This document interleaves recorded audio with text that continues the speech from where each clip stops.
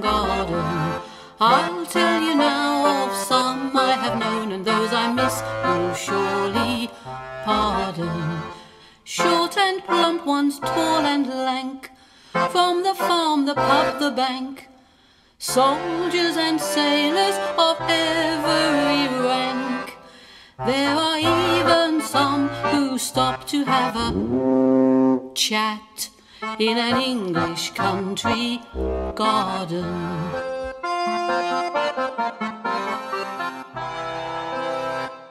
I met a boy who said his name was Troy in an English country garden.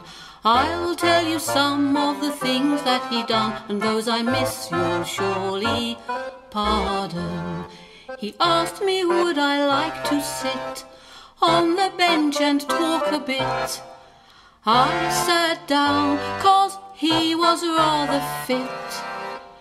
He reached over and fondled my hair in an English country garden.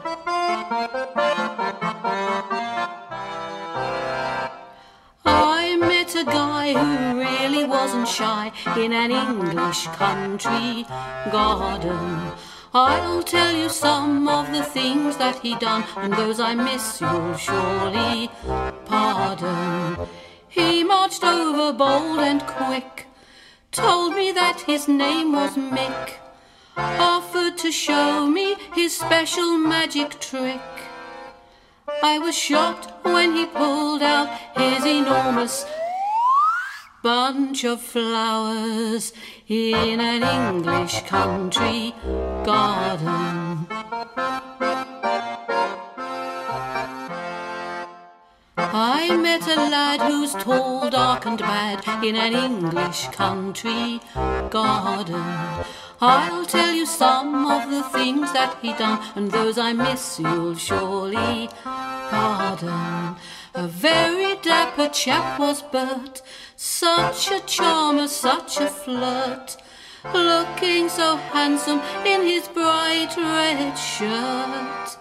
He came real close, put his hand up upon my shoulder in an English country garden.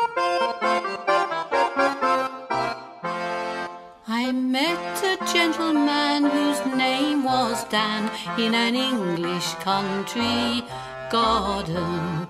I'll tell you some of the things that he done, and those I miss you'll surely pardon. He helped me when I got stuck in the brambles, what good luck. Then we strolled to the lake duck. Later in the bushes we had a game of hide and seek in an English country garden. Young ladies, beware when you venture out there in an English country garden. I've told you some of the things that are done, and those I've missed you'll surely pardon. When young men you chance to see, you should act most prudently.